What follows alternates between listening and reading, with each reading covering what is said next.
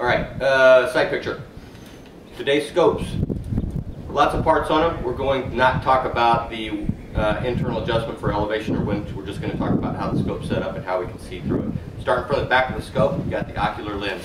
Defined by the lens that's closest to your eyeball. What this does, in all these scopes that are modern, you'll see that they typically have a locking ring back in the back. You can loosen up that locking ring and this ocular lens will turn.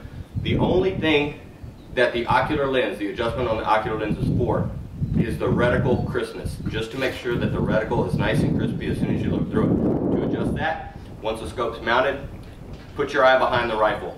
Look at something neutral, white background sky, whatever it is, not the sun, but look at it and look immediately. Is the reticle nice and defined and nice and crispy? If it's not, take your face away, make some adjustments, then look again. Whenever you get it to that point to where the reticle is nice and crispy, you got it going. It's the same thing, you're just setting the diopter for your eye. Same thing when you go into the doctor's office and he has those little lenses, one, two, better, worse, better, worse. That's all you're doing on that. Once it's done, lock it in, you're good to go. Moving forward here, left knob, parallax knob, focus knob, a lot of different names for it, but actually it is parallax. What parallax simply does is it brings the target and the reticle inside the scope onto the same focal plane. Simply put, your reticle will be nice and crispy and your target will be nice and crispy. A couple ways to test for that, but we'll talk about that later. Again, objective lens, last item, objective lens closest to your target. Okay, sight picture. We talked about the ocular lens. Another important part of the ocular lens is actually where you're going to adjust your eye relief for the scope. Whenever you're adjusting eye relief, what you're looking to get is that when immediately, when you put your eye behind the optic, you don't have shadowing around all sides, like, like looking through a donut hole, something like that. If it is uh, all the way around that shadowing, it means one of two things. Either your eyeball is too far away from the optic, or your eyeball is too close. Mounting the scope, you'll notice Picatinny rail gives you the option to where you can move the scope forward, you can move it back, but what you want to do is you want to have the rings positioned on the scope to where you do have that ability to go back and forth with it. I'll set this here and just kind of hand tighten the rings.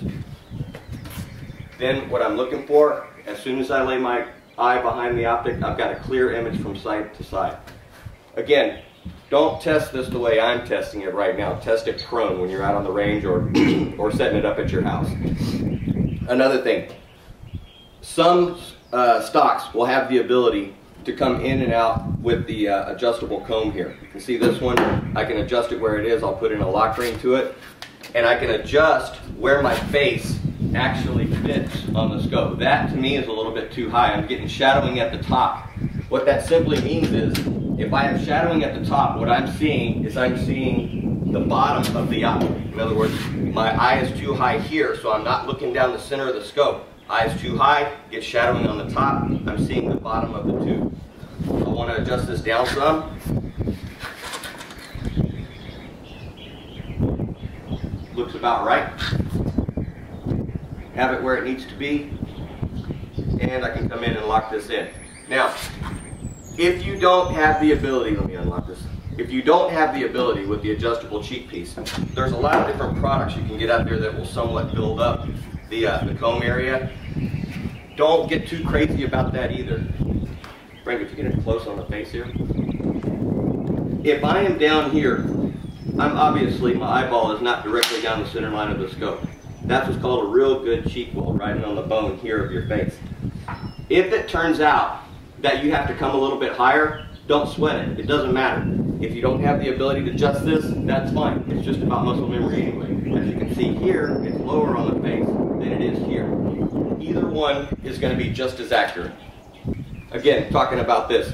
If it turns out that I don't necessarily have a cheek weld, but I'm a little bit lower on the face, it really doesn't matter. What we're not, what we don't have is we're not dealing with iron sights to where we're talking about sight alignment. What we're talking about is sight picture. So if I have to come in, put my face on the gun exactly like that, and I'm a little bit higher than what my cheekbone is, I'm not really going to sweat it too much. One of the things that's going to help us solve that problem, again, parallax knob. Parallax knob basically put on there so you could focus at different ranges, but another additional benefit of it is that you don't really have to have the exact cheek weld every single time. That parallax knob will give you the ability to adjust the scope for some sort of awkward position that you may be in. All right, going back to it. Obviously, we want a consistent cheek weld every single time. If it turns out that we're down on our cheekbones in this fashion, that's fine. If we're up here, that's fine too. However, if we do find ourselves in a position that's not really going to allow that, we can utilize the parallax knob to take out the parallax and it will kind of make the scope more forgiving, modern optics. Simply come in, I'll look at my target, I'll set my reticle up exactly where I need it to be. I'll bag in the rifle as tight as I possibly can. Then, if you watch closely, I'll move my head slightly side to side. Now, I'm not moving my head enough to where I start to get shadowing one side or the other. But what I'm watching is I'm watching the reticle. If the reticle stays where I left it, on the target, that means I'm parallax free. However, when I move my head, if the reticle floats, then I know I still have parallax in here. I'll have to come up here, make a slight adjustment to the parallax knob. What I'm looking for is I'm looking for the reticle not to float on the target. Again, ocular adjustment is just for the reticle itself. That's all. Once that's set, it's set. It doesn't matter at any range. Then, whenever ranges change, I essentially have to come over and work the focus knob, the parallax knob. I can adjust that as I shoot at different ranges. Obviously, if I have multiple targets at multiple ranges, I'll find a common ground, some sort of middle area where it'll work. But what this will do, this knob will take away some shooter error if I'm not exactly able to get a perfect cheek weld every single time. Multiple reasons for that. It could be the position that I'm in, whatever I'm using for cover, whatever I'm using to rest the rifle. There's a multitude of reasons why I can't get that perfect, consistent cheek weld every single time. It's irrelevant use the scope, modern optics, to solve some of those problems for you.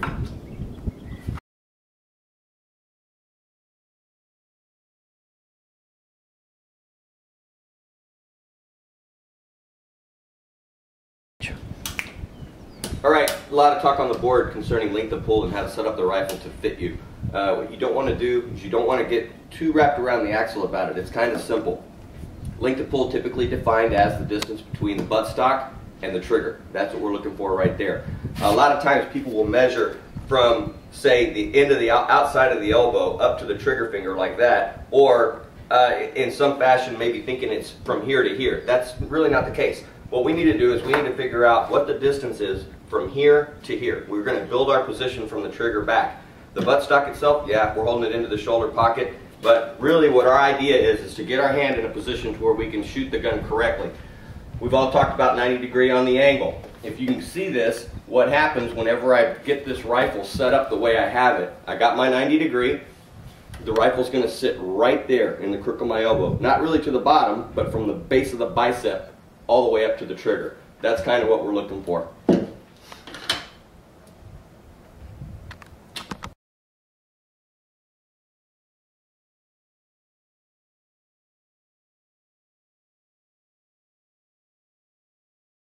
gotta get one. You got freaking dude out here wants to freaking fight you. What am I talking Range is about? hot.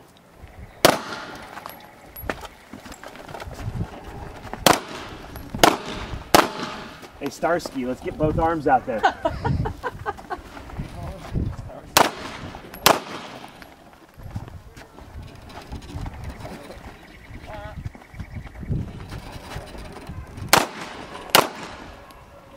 Use some of that cover. Don't drop the weapon, bring it into you.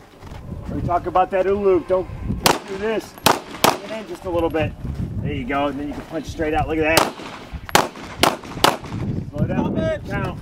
Covering! Oh fuck, he's coming at you. Slow down the footwork.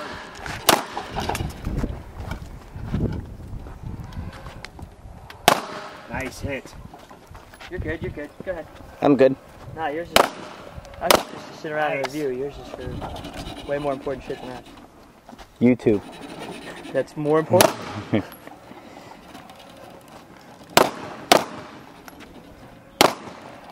Stop it! Covering. Covering! Quickly, quickly.